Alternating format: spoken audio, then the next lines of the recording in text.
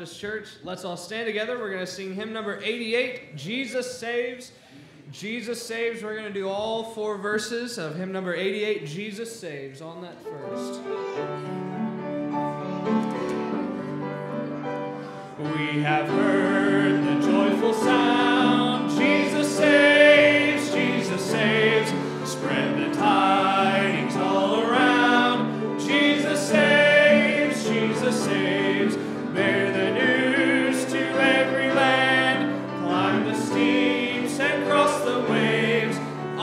tis our Lord's command, Jesus saves, Jesus saves, on the second, wafted on the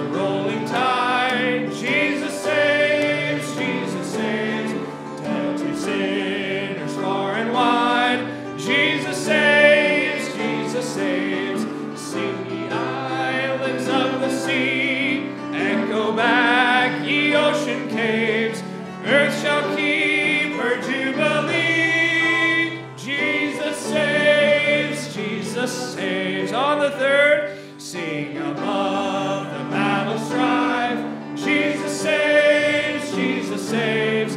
Lies death and endless life. Jesus saves, Jesus saves. Sing it softly through the gloom when the heart for mercy craves. Sing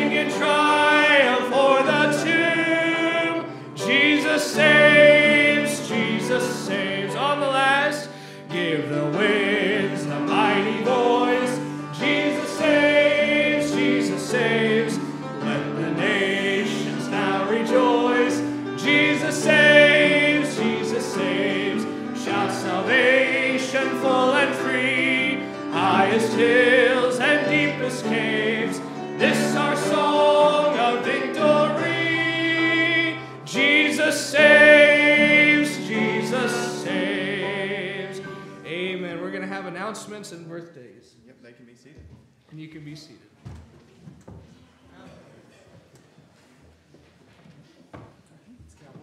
right? All right, running shorthanded this morning. Uh, we've got junior week coming up uh, in a couple weeks. Nathan is running all of that. Um, I got some text message yesterday, and I think Nathan got it all lined out. Uh, teen week, the cutoff for signing up for teen week for the pre-registration is uh, Memorial Weekend. Uh, just talk to me about getting. Uh, I've got forms in the back for your teenagers for y'all to fill out. Get those to me and we'll get that all done and the pre-registration done um, for Teen Week. And then this Saturday, right, Strawberry Festival? Yeah, sure. Jeez, this Saturday Strawberry Festival. Um, there are a couple open slots still for help with the horses.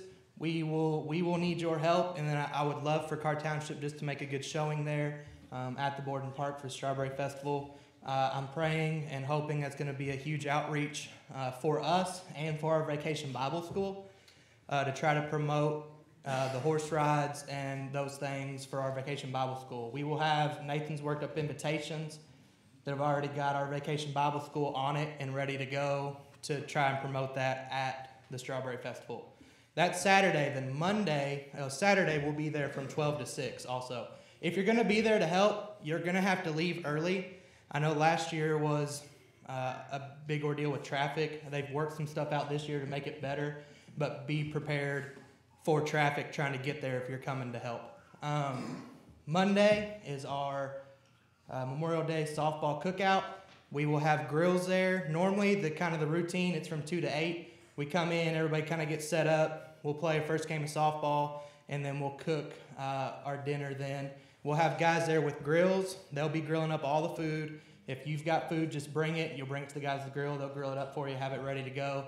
We'll have canopies set up. Bring your own chairs. Uh, there'll be bathrooms there. Uh, there is a building with AC in it as well in case it's hot. Um, and then there's well bounce house for the kids, and it's just it's a good time. I enjoy it every year. It's kind of a right before summer starts, and we get crazy busy, and everybody's running around doing everything. It's a good event for the church group to get together and have fellowship and have a lot of fun. Right before everybody gets crazy running around and doing everything. Well, I mean, Alright. yeah, I feel like it's already going on. honestly. and so that's Monday from next Monday from two to eight. is the softball cookout, and I love for you guys to be there at that. And then junior week, team week, I think pretty much got most of it covered. Do we have any birthdays or anniversaries this morning? Abby. Today, how old is she? Five. She's five today. My goodness. My word. Five. Any more birthdays, anniversaries this morning? Behind here. Behind me? First anniversary is Saturday. Titus and Emma, first anniversary on Saturday, right, Emma? Amen.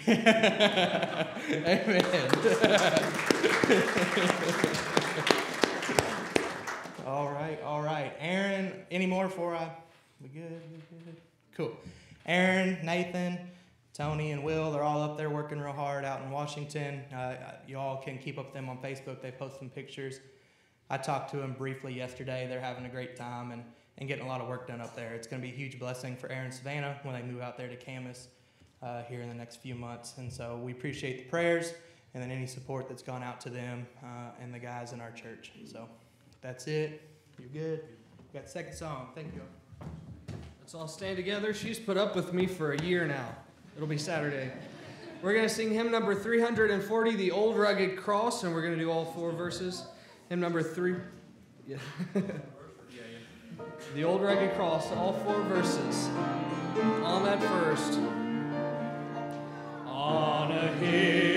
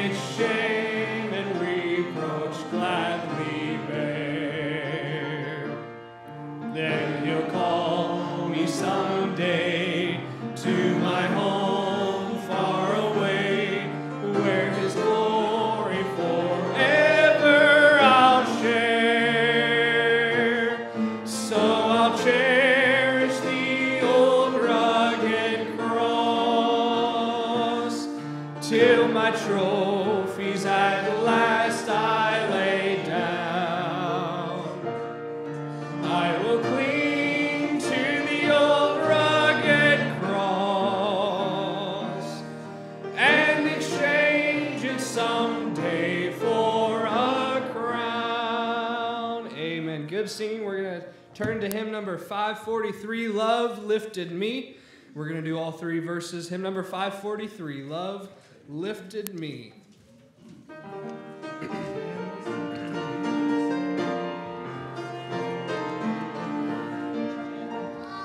I was sinking deep in sin, far from the peaceful shore, very deeply stained within, seeking to rise no more. But the master of the sea heard my despairing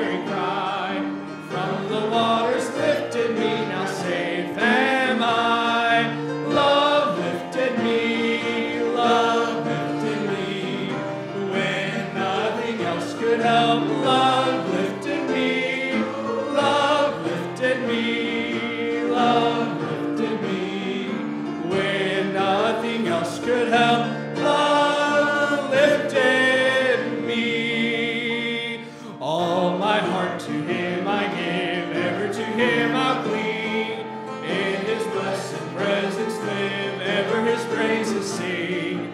Love so mighty in the room merits my soul's best songs. Faithful, loving service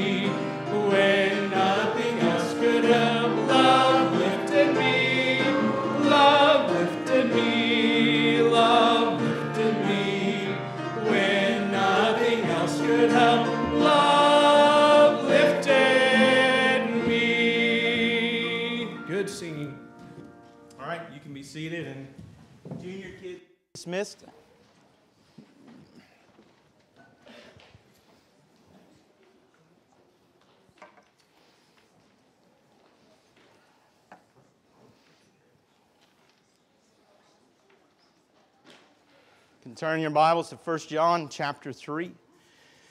1 John chapter 3. We'll have the, the guys on tonight. Uh, when the service starts, we were kind of mocking up a, a FaceTime call last, this past Wednesday, just to make sure we could have them on. And, and so we'll have them on just for a little bit tonight so you can see them. They can kind of give a report. Uh, they've called every night, just, um, I say excited, but it is, it's exciting. And uh, it's exciting work. Uh, it's it's uh, great to do, put your hands uh, with your talents to, to the Lord's work. And so they have, uh, the, the church there at Camas had, had purchased windows, and so the, the windows have been putting in, put, putting in, put in the parsonage. Uh, they've cleaned up. Nathan said when he got to the kitchen at the, at the church, he said it was in such disarray.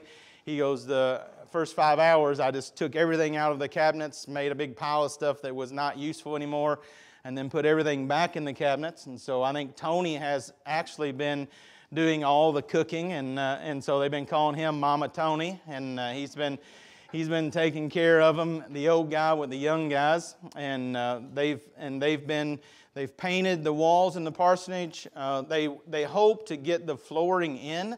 Uh, and they finished that this morning. They, they got up at 4 this morning.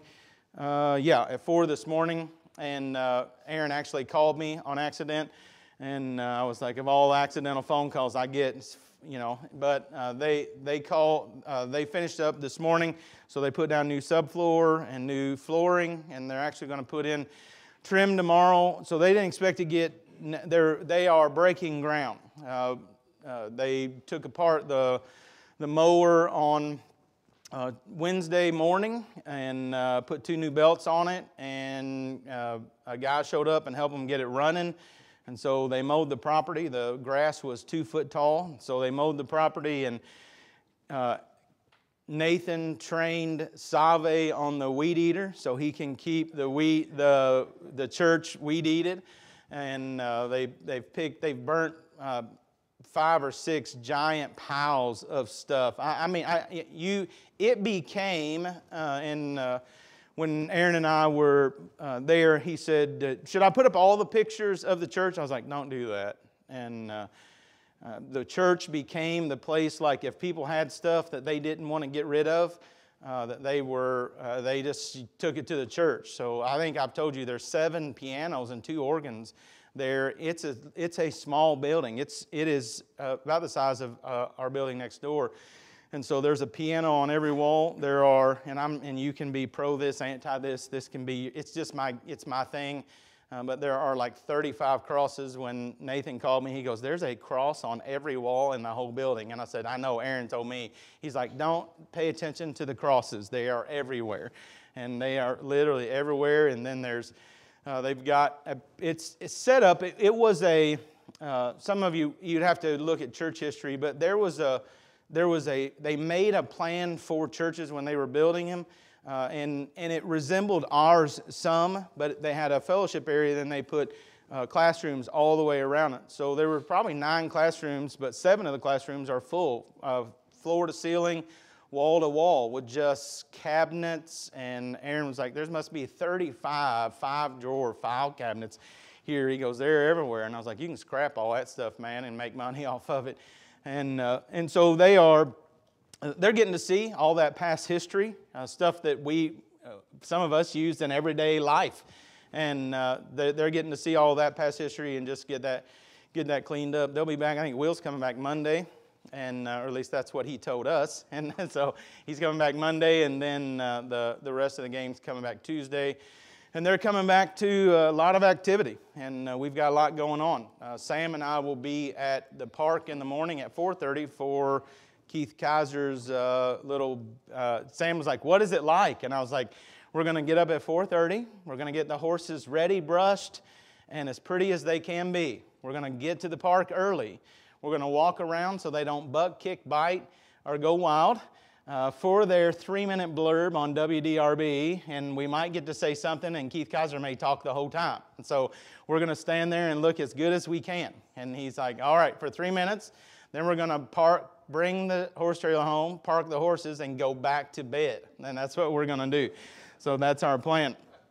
So we'll be up there in the morning, and then the, the week will just unfold. We got a lot of work to do, get the round pen uh, up there and uh, on uh, on Caitlin's ball ball diamond. Yeah, yeah. We're so important. but the but there uh, everything's just on phone. Yeah, they got girls softball sectionals coming up this weekend as well. So Wednesday and Wednesday and Friday. So just a busy week, and that day will be blitzed out. I'm thankful it's not two days. I wish it was two days. And so, but it'll be blitzed out and then uh, back to church on Sunday and, and away we go. And that's the way it's going to work. So it just, just uh, it's, it's, a, it's a busy time for you. I know you guys are quiet this morning.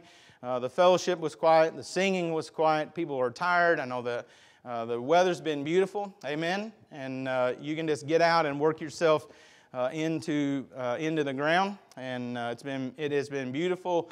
Uh, we got babies coming and projects to do at Caleb's. We got a project to finish here before Vacation Bible School. And, and uh, yeah, so uh, if you have nothing to do, holler, and, and, I'll, and I'll help you out with that. So it's just going to be busy. Praise the Lord.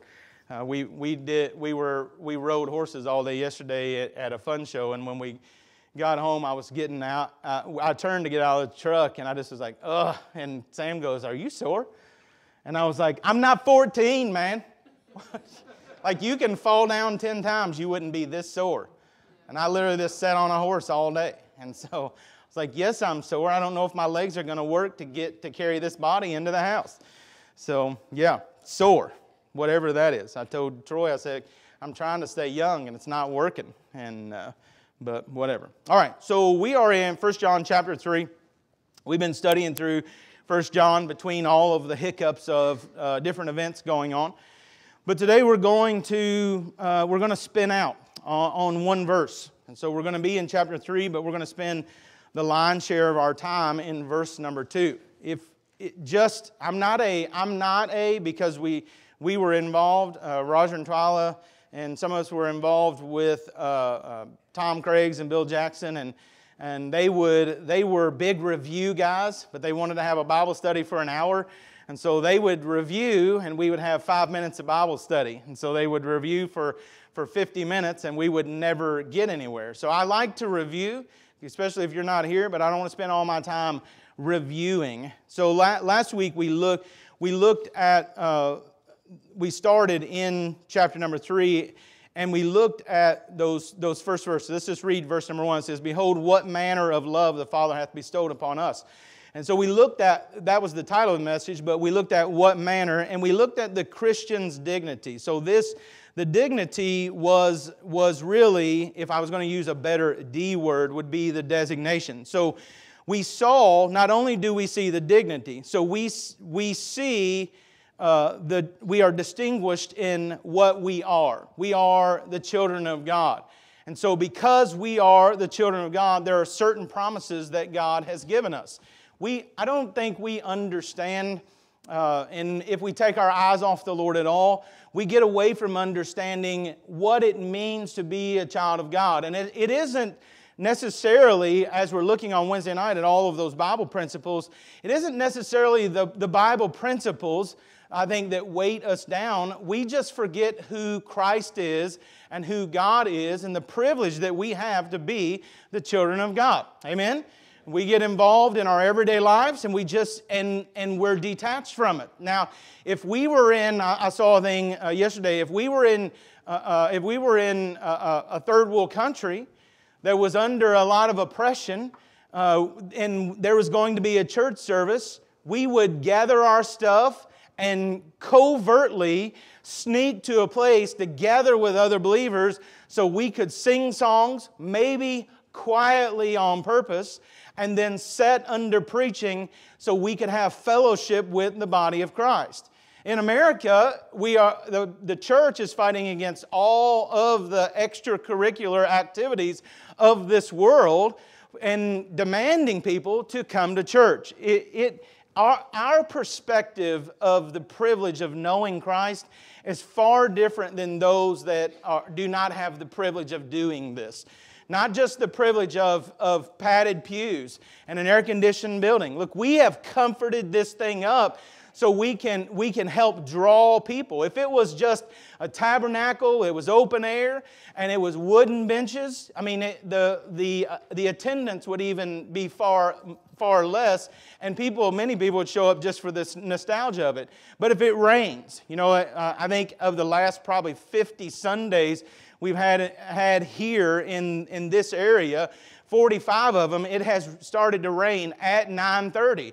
And I just be like, it must be an onslaught from, it is an onslaught from the devil, or Jesus just saying, let's see who will actually show up when it's raining. Can you imagine if you had to sneak in and there were military people looking, looking out for you, and so if they found you, they could execute you? Uh, what, would be, what would be your desire then, I say, to come and be a part of the fellowship of God? we, we, what we want to do here in 1 John chapter 3 is we want to see the privilege of being a child of God and what that is. And you guys know I'm not the love, love, love guy. I'm a command man. I would much rather give orders uh, and follow orders and give lists and do check and check off lists. That's, that is not who I am. But as we're studying this, I want us to, to, to mesh our hearts into the next few, uh, next few verses and uh, I want us to grow from this. I want this portion of Scripture uh, to change us or reset us or, or rededicate us. I want us to look at ourselves in the light of Christ and see the privilege it is to know Him and to be a part of the family of God. That, that of all of the people on the earth, we have had the privilege to hear the gospel of the truth. Not just a gospel, Not just a good news, but the good news. And that we have had the privilege to call upon our Creator so that we can have eternal life. So, so I started out with just a monologue this morning. I believe that we are in the last chapters of the book of earth uh, and the book of this creation. We are soon to see splendid changes and remarkable sights for the born again. I, I am, I am not as an escapist, but I, am, I, I would love for the Lord to call us home today. I would love to hear the trumpet noise and just get out of here. Now, part of that would be because we got so much going on and it'd be a lot less decisions to make. Amen? And so, uh, all those financial decisions, vacation decisions, you know, all of these decisions we could just escape from. But, but I really long to see his appearing. I loathe the fact that there are many of my family that don't know Christ as their Savior. I know, to, I know for me to be called away will take away one of the avenues for them to hear the gospel. And I know how it, all of that unfolds. But I believe we're in those last chapters. Just like in the last chapters of a book, as you anticipate the ending, who was the murderer? Who, who, what detective is going to find out? Who killed Mrs. P in the, in the library with what article? Just as you are in the very end of what's taking place, the anticipation should be growing, but we see in the Bible the opposite takes place. People are beginning to what? Relax. There, uh, Jesus says when he comes back, will he find faith in all of the earth? There is a, re- there is a relaxedness to the body of Christ instead of an urgency. So I just wrote, time is winding down we are seeing the falling away. We are seeing the days of Noah. We are seeing the activities of sin on the rise. We are seeing good being called evil and evil being called good. This is about, for us, is about getting ready, rededicating, dedicating areas of our lives called on by God. The production of the gospel and godly living. The boat is almost finished. If these were the days of Noah, uh, they would have had the exterior finish and they would be putting in the last pieces on the inside. And the animals would start be showing up two by two. The, the, the signs of the time are, are written on the wall that you and I are living in. And if we're spending any time in the Word of God, we are beginning to see these things unfold. As we look to the Middle East, we're beginning to see things unfold in the Middle East. We're beginning to see alliances begin to get together from the north and the south. And, in, and those groups are going to eventually come together and they're going to come against Israel. And we're watching those unfold. We're seeing uh, the disappearance. We, we, we've always wondered in, in prophecy where is America's role in prophecy? Uh, because we've been a, a financial power, we've been a military power. Beloved, we are in financial ruins as a nation. We are on the cusp of, of the military just being undergirded by all of the, the new ideas and new ways of living and things going on. We're giving away. We're about to give the, the, the World Health Organization, the WHO organization, uh, America is going to turn over its privilege. So in the next pandemic, pandemic, America will not make the call for Americans where we have elected our officials. The World Pandemic Organization that controls all of the moving parts will say, this is how it's going to be, and this is what we're going to do, and these are how these things are going to take place. We are, we have, we are exchanging uh, liberty for safety. And beloved, the greatest safety is in knowing Jesus Christ and knowing you have a home in heaven so that you can't be threatened with, with all of those things. I mean, what can they do? Can a, can a believer be threatened with their life? I mean, to be absent from the body is to be present with the Lord. So if I take my last breath here, if you take my life here, you really just set me free to go on into heaven. And it would be very tragic, but it wouldn't be tragic on the other end, where we'll see, that, see this morning, where our faith will become sight.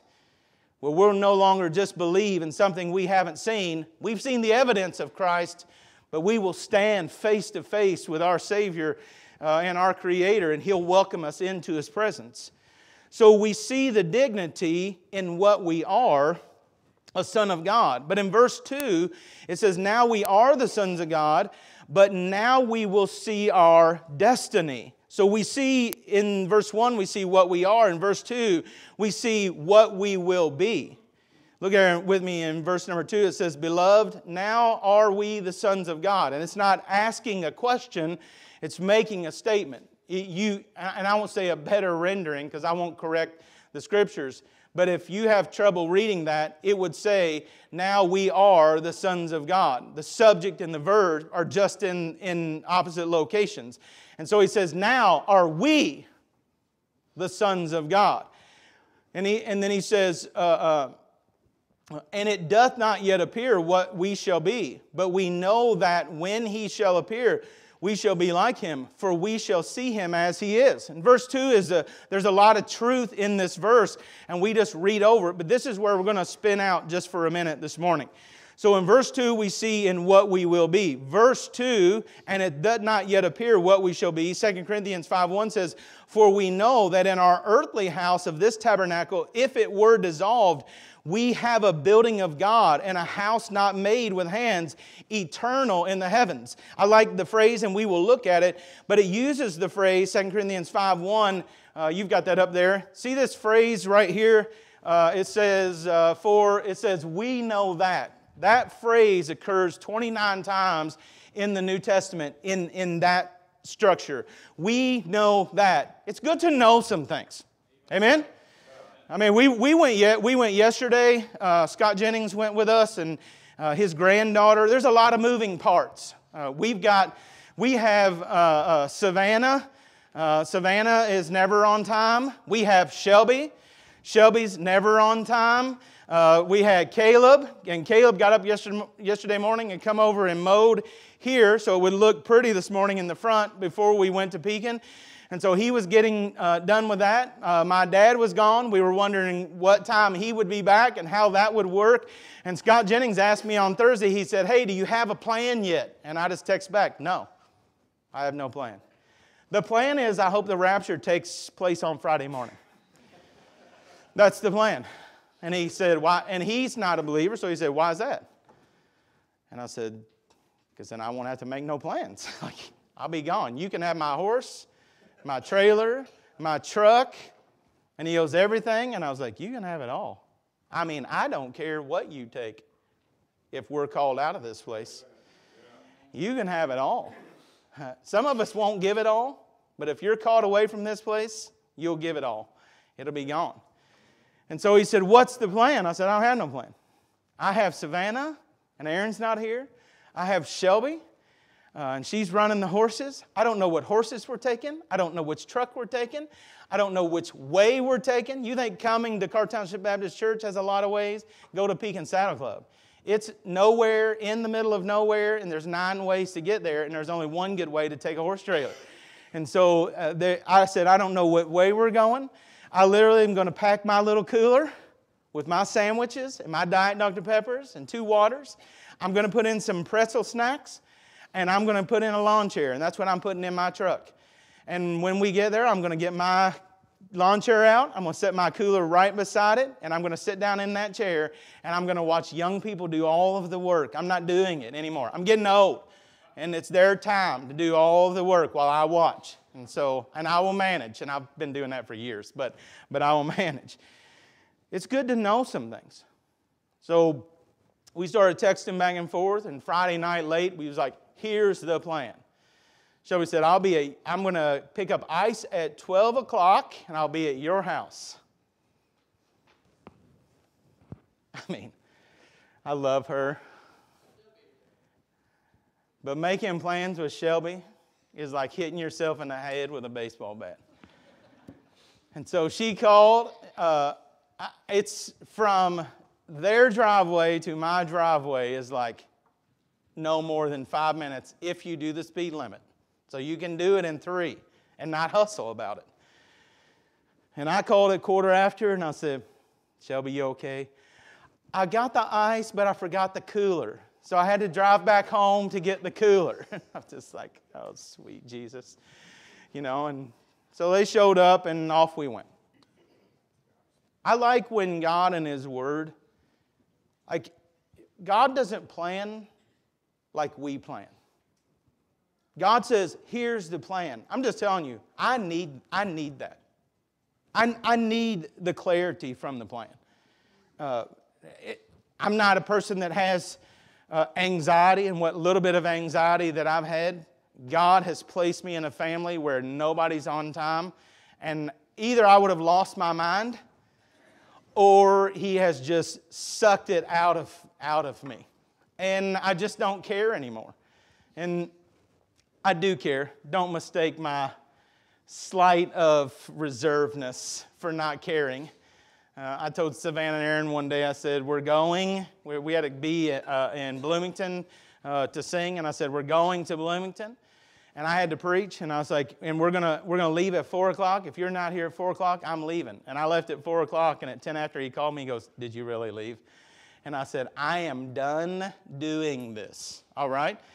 So he had to preach at Pastor uh, or Josh Pools just a, a, a couple months ago uh, to raise support for the trip to Camas. And so uh, he said, We need to leave at 4 o'clock. And I was like, There is no way on this planet I'm going to be ready by 4 o'clock. There's no way. I am going to create so much anxiety in his life with the last few opportunities that I have.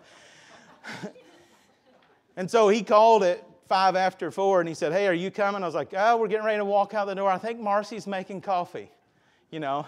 And he was like, Alan, seriously? And I was like, I'm not preaching. You are. All right? So, and Josh likes to start on time and do everything on, on time. I was like, Yeah, welcome to the ministry, friend. And uh, so we lolly, I drove the speed limit all the way over because I didn't want to negate the work of God and the life of Aaron, you know. And then I got here, they didn't have the the chairs in or nothing anyway, so it didn't matter. It's good to know, it is good to know some things. And what little we know about heaven. Somebody in here, we were talking this week out front, maybe Wednesday night, about what's heaven going to be like.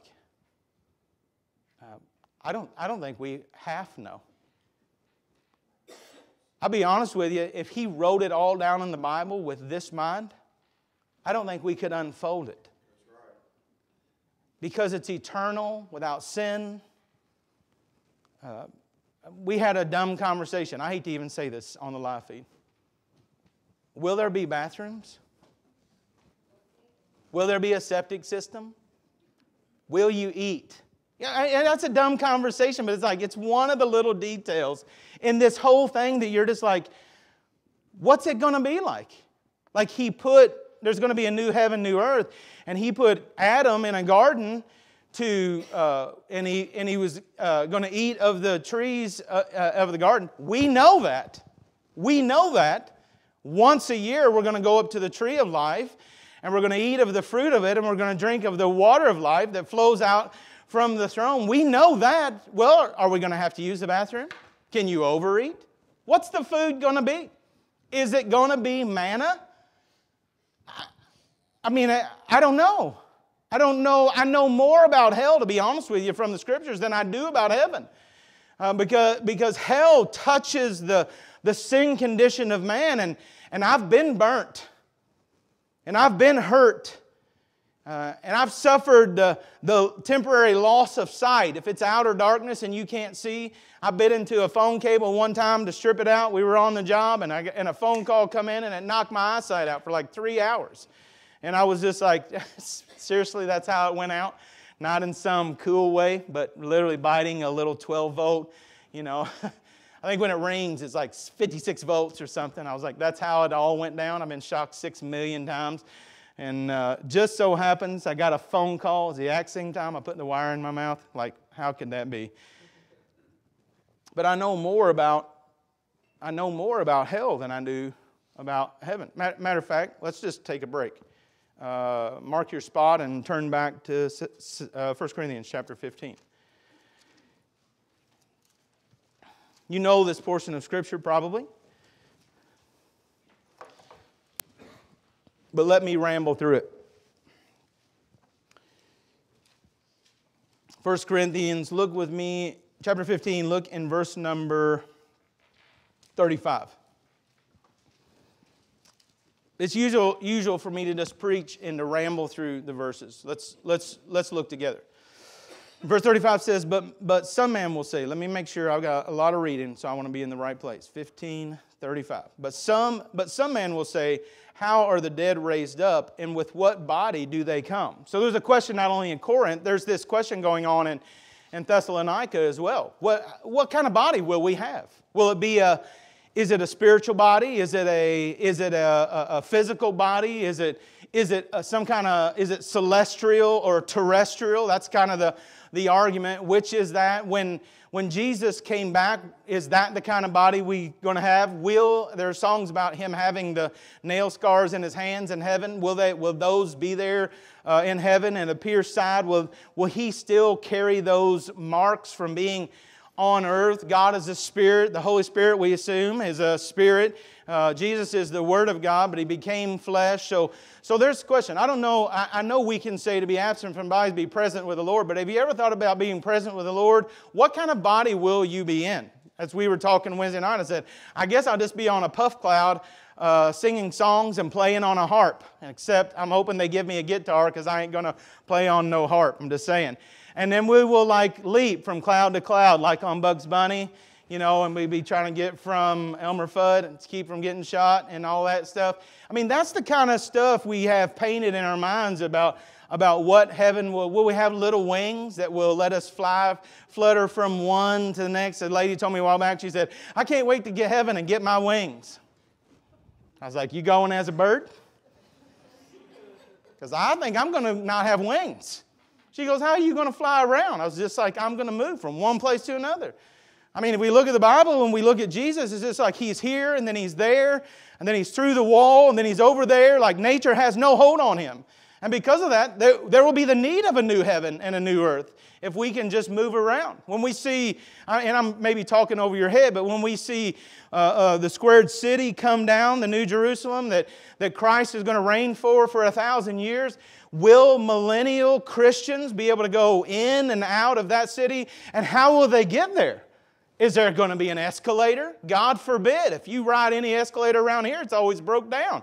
So will you just be able to move there and be there and move from there and be, be back on earth? How will that last? And if it's for a thousand years, are we going to see people come and die that live in their 70s still, three score and ten, while we live all thousand years while they're here? How will that work? Well, I bet eh, not everybody in here has answers to those questions.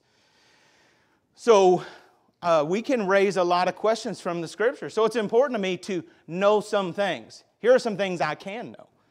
All right, let's read on. I won't do this on every verse. Verse 36, he says, Thou fool. So he asks, What kind of body? He writes, Thou fool, that which thou sowest is not quickened, quickened except it die. Now, so he's going to give some gardening, agricultural type language. So you have a seed of corn,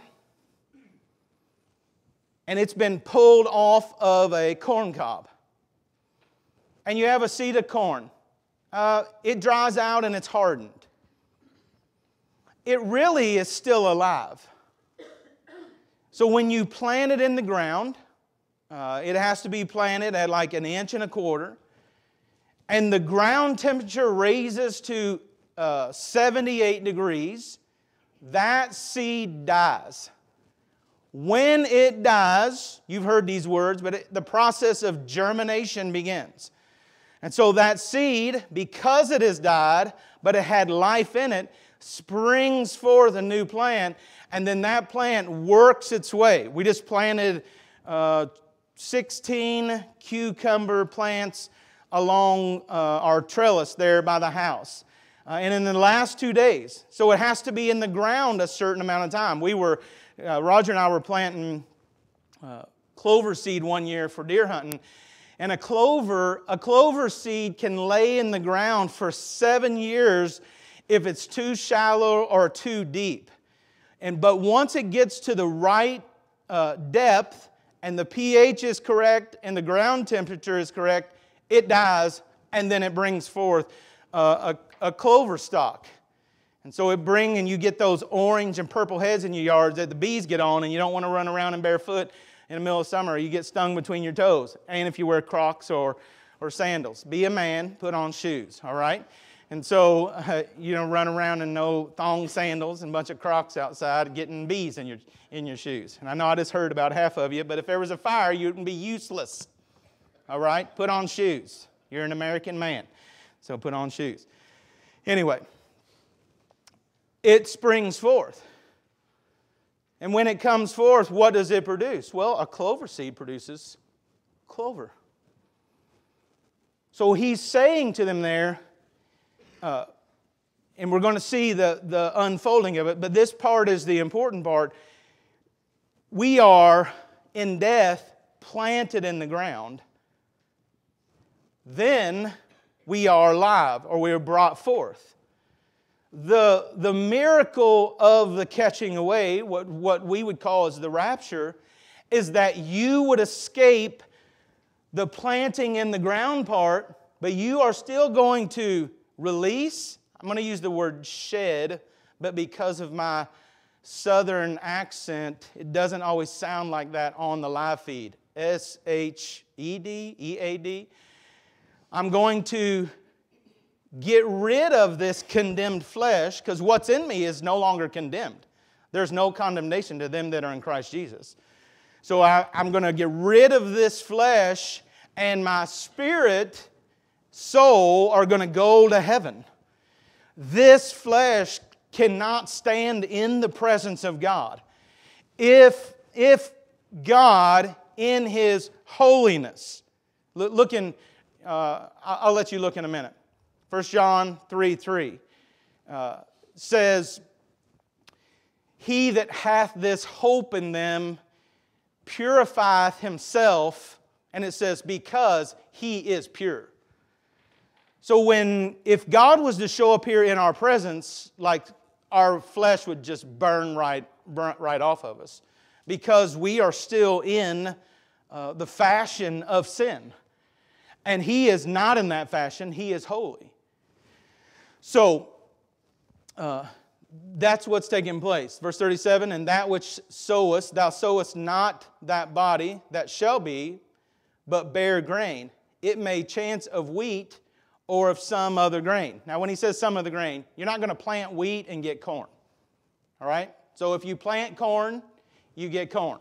Uh, as soybean fields begin to come up this year, um, you'll see soybeans grow, uh, I think, about 28 inches now. Uh, they have reduced the height uh, because of the wind, and if they've reduced the height, they have less chance of blowover. They've done that with wheat as well.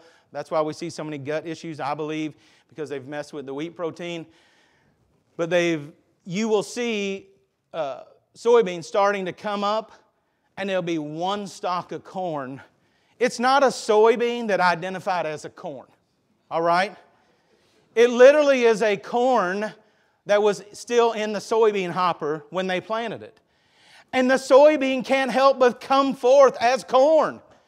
Uh, the, the corn can't help but, but come forth as corn. That's why when God says in Genesis chapter 1, He made them both male and female. How God made you when you came forward, you can't help but be that. You're genetically that, you are, you are physically that, and that's how God perceives you. You can change your pronoun and, and you, can change, you can change the outward appearance. But if they dip your blood, they're going to find out exactly who we are. Now, and I'm not mean, saying that to be mean in any sense. Hey, our country needs truth injected back into it. And it can be done in love, but it needs truth to be injected back in it. And not foolish politicians just trying to get ahead of the longest or loudest line in order to get reelected. Have some principle. Stand on some truth. That's why the younger generations, the, the, the, the millennials and the Generation Zers, uh, they're looking for truth, I, I believe. And, that, and when I talk to them, they want to know truth. They just want to know what I heard. They don't want to know uh, what somebody told me. They don't want to be told, uh, uh just do what I say and, uh, and do it this way. They want to know. They want a purpose for doing what they're doing, a purpose for believing what they're believing, and we all should thirst for that. So he says, verse 38 But God giveth it a body as it had pleased him, and to every seed his own body. All flesh is not the same flesh, but there is one kind of flesh of the men, another flesh of beasts, another of fishes, and another of birds. There are also celestial bodies and bodies terrestrial. So this wasn't ET that made that word popular, it was in the Bible already. But the glory of the celestial is one, and the glory of the terrestrial is another. There is one glory of the sun, one glory of the moon, one glory of the stars, for one star different from another star in glory. So also, he's still talking about giving things a body. So also is the resurrection of the dead. Oh, now he's beginning to talk about believers that have gone on before. It is sown in corruption, it is raised in incorruption. Because why? This body is condemned. I mean, when it gets sown into the ground, it does what? If you were to go open a grave, you would literally see, uh, if it was preserved enough, uh, we used to have that song. Uh, the worms crawl in, the worms crawl out, the worms play pinochle on our snout. Some of the young kids are just like, what on earth? It was a different time. That's when Santa Claus used to come up on the roof and go click, click, click down through the chimney. How did that dude fit in that chimney? I have no idea. Crisco, I guess. Whew! And right he went. You don't even know what Crisco is. It's crazy being alive today. You think I'm speaking a foreign language. I'm speaking a language that a lot of people in here understand. But anyway. so you open up a grave, you know, uh, maybe a sealed tomb in the ground. You open it up, and what's left? The clothes, part of the flesh, maybe some of the internals because of, because of embalming, and the, and the bone structure, and especially the teeth. And so those things remain. Why? Because that is what's left behind when the soul leaves that place. It leaves behind the dead or the corruption. And that soul either spends eternity now in the presence of God or eternity now we would call we call it hell we would we the bible calls it hell but away from the presence of god is what hell is we can paint it any way we want it hell truly is the absence of god and so which unfolds a whole uh, gamut of problems and so uh, that soul is planted and then those souls go one of two ways so he says uh, verse 41 there is one glory of the sun, glory of the moon, glory of the stars, one different from another, star of glory. So also is the resurrection of the dead. It's sown in corruption, it's raised in incorruption. It is sown in dishonor, it's raised in glory. It's sown in weakness, it's raised in power. It's sown a natural body, it's raised a spiritual body. There is a natural body and there is a spiritual body. And so it is written the first man, Adam, was made a living soul. The last Adam was made a quickening spirit. The, the last Adam being Christ. Howbeit, that was not first which is spiritual, but that which is natural. So, Adam in the garden came first, Adam and Jesus came second, and afterwards that which is spiritual. The first man is of the earth, earthy. The second man is of the Lord from heaven. As is the earthy, such are they also that are earthy. Who is he talking about? Well, he's talking about us, those that are earthy. Now, he's talking to the church at Corinth, so we're, we are under the assumption he's, he's writing to a body of believers. So he's saying those that are of the earth are earthy. Earthly people should act in earthly ways. That's how they are. The church should not expect the earthy to change to make the church a better place. The church should expect the spiritual condition of the church to change to make the church a better place. And as a result of the church being a better place, then they will have an effect on the earthly. We would say that we then would begin to fertilize the earth, earthy surroundings around us. We would begin, I, and I'm painting a very loose picture, but we would begin to fertilize the homes around our circle of influence. If I am the church, this is the body of Christ, the church, a called out assembly, so we are together, ecclesia, so you and I are together, here we are. But in my circle of influence, as I begin to fertilize the people around me with the, with the, the, the gospel, the good news of Jesus Christ, as I begin to fertilize it, I'm making the pH correct uh, in the areas of people's life. I am, I am unsettling the soil of that seed until it's getting to the right place. And then when it gets to the right place, that seed then will call on the Lord for salvation. It germinates and a new life comes forward. Amen? There's a lot going on, and that's just rambling off my head, but there's a lot going on in this portion of Scripture. And Paul's trying to, he's trying to combat a false teaching. So he says, verse 44, it's sown a natural body, raised a spiritual. There's a natural, there's a spiritual body. As it written, the first man, Adam, was a living soul, last was a quickening spirit. Howbeit, not first was spiritual, but that which was natural, and afterward that which is spiritual. The first man of earth is earthly, the second man of the Lord is heavenly. As is the earthly, such are also that are earthly. And as heavenly, such are they also that are heavenly. It's assumed that believers are living a heavenly lifestyle, a heavenly type of lifestyle. You're, amb- you're an ambassador sent to a foreign land. So our residence changes. We trust Christ as our Savior. We're no longer of this earth. We're no longer earthy. We are now heavenly creatures because we are, we have, we are eternal. Once you trust Christ, you may still be living here in temporary time, but you now are, are a permanent figure of heaven. So it says, Such are they also that are heavenly. Verse 49 And as we have borne the image of the earthy, we shall also bear the image of the heavenly. And that's an important verse. It, it, it goes into our, our verse over in 1 John chapter 3. Now, this I say, brethren, that flesh and blood cannot inherit uh, the kingdom of God, neither doth corruption inherit incorruption. So you can't take, if we looked over in the book of Galatians, we would, we would see that a corrupt tree cannot bring forth good fruit. And so if we walk in the Spirit and we don't fulfill the lust of the flesh, we enjoy the fruit, not the fruits, but the fruit of the Spirit, the whole gamut love, joy, peace, meekness, temperance, long suffering. Against such there is no law. They that are Christ have crucified the affections and lust thereof. So, verse 50 says, Now this I say, brethren, that flesh and blood cannot inherit the kingdom of God, neither doth corruption inherit corruption. Behold.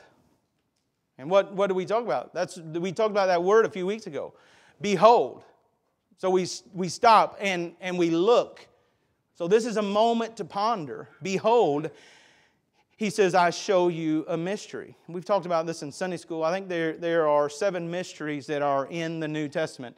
Uh, they are no longer mysteries. Listen, listen the, the popular verse is to say, uh, well, man, that's a, it's a God thing. I hath not seen, nor ear heard, nor hath it entered into the heart of man the thing that God hath prepared for them. I know, we can't know. Who knows? The very next verse says, But God hath revealed them to us by a Spirit. So there are things that the world doesn't know, but once we're in Christ, the Spirit of God begins to reveal those things to us. As we read the Word, you say, I, I read it and I just don't comprehend all of it. Nor do any of us. Amen? And so what do you do? You read it again, and you read it again, and you read it again. It's the only book, I've got, I've got say, I've got 100 books at the house there that I've read from, from cover to cover. It's very seldom that I go back and get one of those books and bring it down and say, I'm going to read this again. I'm not a second movie watcher. There are just a few movies in my repertoire that I will watch a second time. Most of, most of them have to do with, never mind, never mind. Cowboys shooting at long distances, like sniper movies, or gladiator type stuff, you know. And so I like that stuff. I sit on the couch in my Crocs and think about being a man. And anyway, I never sit on the couch with my Crocs, I always take them off. So he says, Behold, stop. Everybody's busy this morning. Hey, if you're on your phone playing games this morning, shut it down. All right? Behold, I'm going to show you a mystery. All right? The mysteries of God, they're not to be trifled with. God's going to unveil something to the church. That what? This portion of Scripture, we read at a lot of funerals, but it boggles the mind. It's, we comprehend it, but we're going to comprehend it better. And so he says, Behold, I show you a mystery. We shall not all sleep. God is not, is not under the authority of the laws of nature. A body does not have to be sown in order to be raised in God's world. One of the most interesting verses in the Bible to me is when Jesus is talking about reaping, so picking, harvesting. And the Bible says that Jesus reaps where he sows not. How can that happen? Because he's magical and mystical? Beloved, because he's God. But I can go to Roger and Twyla's and I can be there because Twyla said, Come over, I want to talk about the Lord and she could be coming to church and, and God could be speaking to her heart and we could sit down at the coffee table and Roger could say, I want to sit over here and have a cup of coffee with you all too while we while we talk. And I can be talking directly into Twyla's life and the light bulbs can be coming on and Roger can look right at you and say, Hey, I want to get saved too.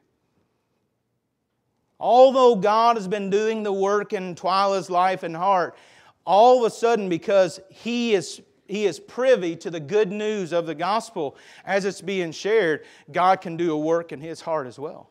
I mean, and it happens like that. And the lights come on, and new life springs forth. And all of a sudden, a, a, a new marriage springs forth, and a new direction for a home springs forth. A direction for a home. Before that, it was just in darkness. So he says, I show you a mystery. We shall not all sleep, but we shall be changed. In a moment, in the twinkling of an eye, I think Eddie had a statistic on that one time, what a twinkling is uh, of an eye, but it's fast.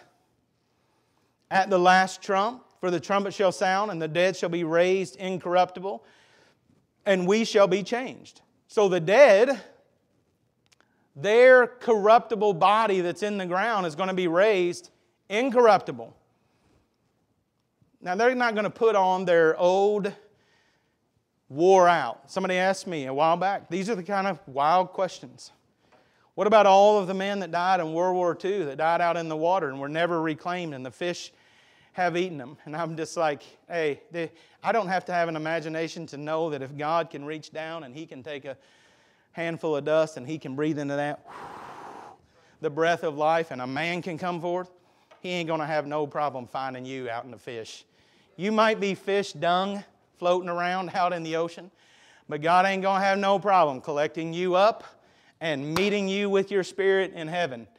It's going to be part of the wonder, I think, when we get to heaven. You know, where did you die? Whoa, whoa, wow. You know, God is God. What? It's, it's a tired, warped sense this morning, all right? He says, uh, it, the dead shall be raised incorruptible, we shall be changed. Verse 53 For this corruptible must put on incorruption, and this mortal must put on immortality. That's so we can stand in the presence of God. So when this corruptible shall have put on incorruption, and this mortal shall put on immortality, I mean, it's no longer corruptible, it's no longer mortal. Then what will be said? Then shall be brought to pass the saying that is written Death is swallowed up in victory. When our, when our King of Kings and Lord of Lords has the keys of death and hell, and then we have put on incorruption and we have uh, put on immortality and he, we stand in his presence you and i are going to be partakers of the spoils of his victory over death hell and the grave and we're going to stand in god's presence because of jesus christ but He is going to share those spoils of victory with us. We are going to bear the image of the heavenly. We're, we're all not going to look like Jesus. I really believe the Bible teaches we're going to be very unique. And I say, I say silly things like that because there is uh, John, Peter, and James on the Mount of Transfigurations. Two figures appear Moses and Elijah. You know what? They recognized him, they saw him. Jesus comes back. He is a celestial being, but he's still recognizable, and he has Thomas touch his hands and his side. I, I do believe what, whatever the greatest uh, you can be, and see, we wonder about that. Am I going to be, how old am I going to be when I get in heaven for all of eternity? Am I going to be a 19 year old? I don't, it's, it's going to be better than that. Well, am I going to have, you probably had acne at 19. Still. You're not going to have that. It's going to be better than that. I know, and this is silly stuff, but but I, but I think when we try to take an infinite God and shove him into a finite mind, and, and, I'm not excusing that we shouldn't study the Word and we shouldn't grow in knowledge, but when we try to take an infinite God and shove him into a finite mind, we come up with a lot of non answers. Somebody asked me, is, Are animals going to be in heaven? Well, there are animals. I mean, I'm, I'm not going to be the one that causes somebody to spin out, of, spin out of control about coming to church because an animal they love, the pastor said, No, your animal's not going to be in, in heaven. I'm just being honest with you. I don't care if there are animals in heaven. And if God wants to have animals in heaven, then so be it. But once we're in heaven, whether there are animals or not, He's going to be sufficient. And that will be all that matters. Uh, and, we, and I have strong attachments to animals that I have loved here. I have, well, I'm not going to say that. Then death is swallowed up in victory. Let's just finish, finish this. Verse 55 O death, where is thy sting? The, Paul, Paul says, if death is swallowed up in victory, then where is the sting of death? There is none for the believer. We've, I've preached funerals for loved ones here over the last five years, and uh, it can bring great heartache to the individuals that are left behind. But if they know Christ, and many of these individuals have, uh, they took their last breath here, and all the ailments that was keeping them from being upright here on this planet, they washed away, and they were in the presence of God. So this corruptible must have put on incorruption, verse 54, and this mortal put on immortality, then shall be brought to pass the saying is written, death swallowed in victory. O death, where is thy sting? O grave, where is thy victory? The sting of death is sin. Well, if you trust Christ as your Savior, where are your sins? As far as the east is from the west. We would say they've been placed in the sea of forgetfulness. They're gone, past, present, and future.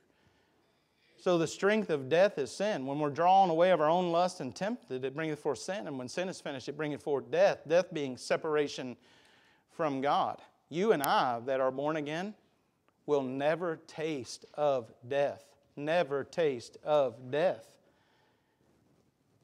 O death, where is thy? Sting, O grave, where is thy victory? The sting of death is sin, and the strength of sin is in the law. The law is what gives sin its power. The Bible says sin is the transgression of the law. And so when we break the law, we are under sin. But thanks be to God, which giveth us the victory through our Lord Jesus Christ. Therefore, my beloved brethren, be ye steadfast, unmovable, always abounding in the work of the Lord, for as much as you know that your labor is not in vain in the Lord. It has eternal weight, it has gold, silver, and precious stone. We're storing up treasure in heaven where moth and rust do not corrupt and thieves do not break through and steal. So 29 times. And I'll just give this portion and we'll be done and we'll and I'll actually preach the message next week. So 29 times we see the language we know that. We know that. in, in a sin cursed world, there are some things that you and I, it's important for us to know. Nicodemus in John chapter 3 and verse 2, I'll just give a couple of them, says, The same came to Jesus by night and said unto him, Rabbi, we know that. We know that. They saw the life of Christ and they saw, the Bible says when he was 12 he, uh, and he was found uh, uh, in, the, in the synagogue, he was one that, that knew the scriptures. And we would say, smart he was the scriptures. He was the Word of God. He is the Word of God. And so he had a handle on the Word of God. And so Nicodemus comes by night says, Rabbi, we know that thou art a teacher come from God. For no man can do the miracles thou doest except God be with him. They, they perceived and saw uh, the work of God, and that did what? That rivaled something inside of them. The younger generations, I believe with all my heart, they're not leaving church because of a multitude of things that, we that we see today written. I believe they're leaving the church because they're no longer seeing the work of God in the lives of believers. And so it's not real to them because it's not real to you. And to be honest with you, it wasn't real to me, I wouldn't be here either. Uh, this takes time. Uh, we were talking before about the fun show was fun yesterday, but most of those people were drinking and riding horses and uh, living life to their fullest. Most of them are slept in this morning, uh, sleeping off a hangover. Well, I came home last night at 8 o'clock, finished up my message, stayed up till 1 o'clock praying about it, and came to church to preach to a bunch of tired people. Amen? I mean, that's just, that's the long and short of it. That's how that works. So, so if it wasn't real, I w- I wouldn't do this for an occupation. Uh, there are other occupations uh, that, you, that you could do. That I, I'd much rather just punch a clock at 8 and be off at 4 and then just go do my thing. And, uh, but that's not what God's called us to the body of Christ. That's not what we're called to. Uh, we're called to live a new life as ambassadors for Christ. So Nicodemus says, We know that. In John chapter 9 and verse number 20, uh, there was a blind man. And uh, the, the Pharisees went to the parents. And they were questioning the parents. What happened? And his parents says, his parents answered them and said, We know that this is our son, and he was born blind. Uh, they did not say, but they did simply said, uh, he was blind, but now he sees. And he came in and could see us. And they wanted to know by whose authority, by what power. I'll be honest with you, I don't think they cared because he could see. But just a little bit farther down, when you read the account, you see the blind man finally give the glory to Christ. They rebuke him, and Christ kind of comes by and says, I see you. And the, now the man that was blind could say, What? I see you too. And he went on with his life serving God. We see Paul at the church of Rome in Romans chapter 8, verse 28. This is a popular verse. And we know that. All things work together for good to them that love God, to them who are the called according to his purpose. We know that. Uh, I don't, I'm just, I'm, I'm spitballing now, but when I, when I was praying this week about what to preach and what direction to go, was I going to skip this verse and move on to the next section? First John has me bound up. I'm just being honest with you because you could spin out on every single verse. And, and I'm saying, as a body of Christ, you might say, I don't want to be in First John for the next five years. But we could, and from it, we could preach the whole counsel of the Bible. Uh, it's a very short book, five chapters, but, but it's full of truth. It's like every verse is packed with truth, packed with, and the whole Bible's packed with truth. Uh, but a lot of the conversation stuff that are going on in the Bible, we're just reading through, and then there's a nugget and a nugget and a nugget. First John's not like that. The whole thing is just one giant nugget of truth. And so Paul says, all things. We know that. Paul addresses things eaten. We've been talking about that on Wednesday night, looking at the, the conscience and looking at the spirit out of Romans 14. And in Romans 8, it says, uh, uh, Romans 8, uh, in uh, 1 uh, Corinthians 8, they're talking about eating food offers to idols, just like they're talking about in Romans chapter 14. And he says, As concerning, therefore, the eating of things that are offered in sacrifice unto idols, because they're in Corinth, it would have been a port city, and there would have been lots of people coming in and out. There was lots of, uh, uh, of religious groups there uh, in Corinth. And he says, uh, uh, so he's talking about eating things that are sacrificed to idols. We know that. There's an important truth found in that verse. We know that. There, there, truly, are, there truly are not idols. There are only distractions from the real King and the real Lord. We make inanimate objects, or even our children, an inanimate object, our idol. That idol has no supernatural, spiritual, uh, redeeming power we set them as the apple of our eye. If we look over in Proverbs chapter 6, uh, the command will be uh, when Jesus prays to God, he tells God, Keep the disciples as the apple of your eye. In Proverbs chapter 6, at the end of Proverbs, it tells us to keep the Word of God as the apple of our eye. The apple is what? It's not a red thing. It's the, the pupil, the thing right in the center. Keep the center of your eye focused on the commandments. Jesus tells God, keep the center of your pupils focused uh, on your children. And so he says there, we know that an idol is nothing in the world and that there is none other God but one. We would talk about God and we'll say, yeah, he's a God that. Well, when we use the article a and and the, when we use the article a, he is a God that, we are, we are passively saying, if I was to tell Grace, uh, she says, well, I want, what about this? What about that? And I say, well, uh, our God is a God that loves people. What we're saying by using the article a is that there are other gods that maybe don't love people. We should say He is the God that loves people because there's no other G, capital G O D God beside Him. We give space to those gods through our, the use of our words, but there truly is no other God. There, there cannot be another God idol when there is only one God.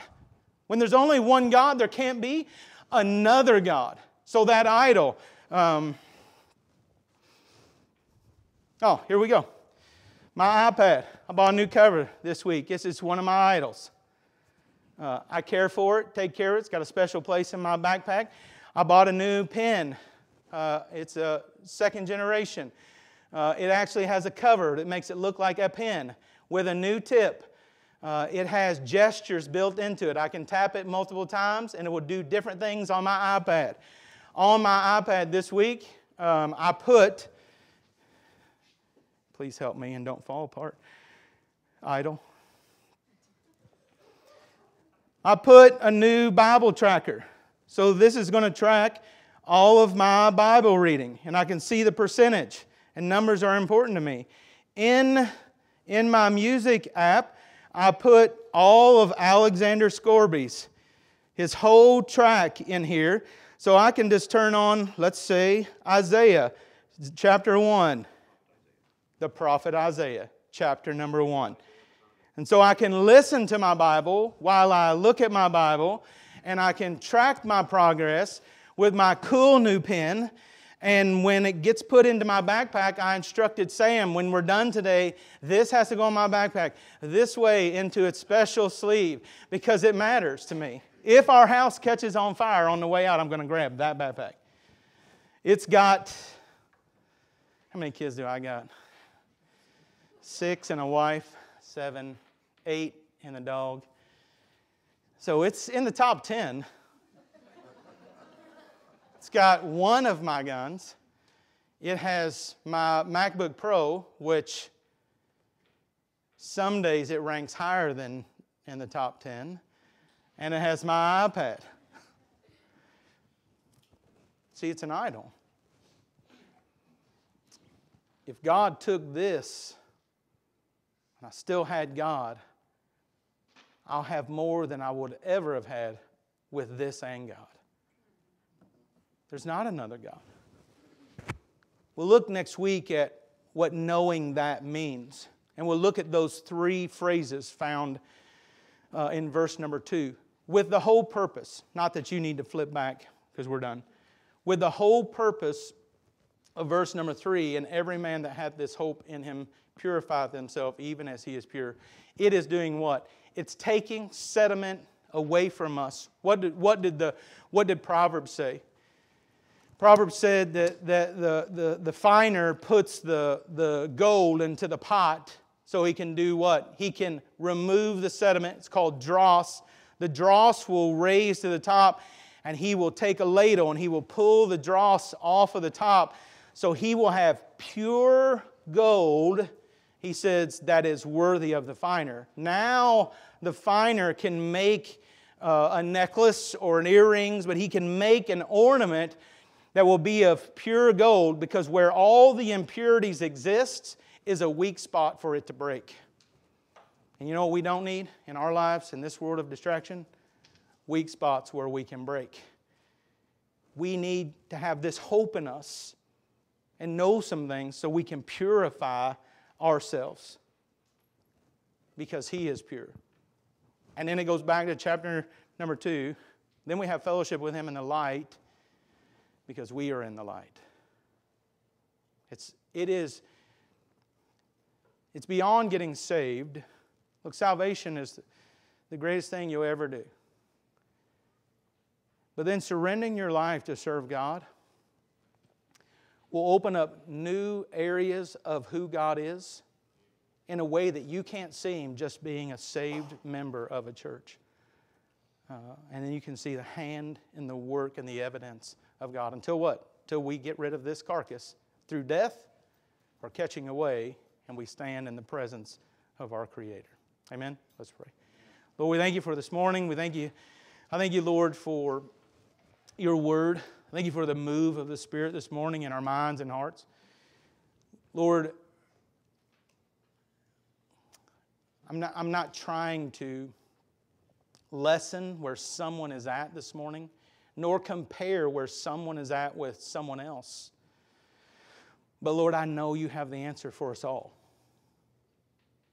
So, from the child with, with nightmares to the adult, uh, that is lonely, I know that you are the answer, and to every answer between. Lord, I pray we would call on you in our time of need. Lord, and then we would search you as fine gold. And Lord, we would find you, see your work in our midst, and you would be praised. And with this finite life, we would bring glory to the name of God and to our Savior, Jesus Christ. We love you. In Christ's name, amen and amen.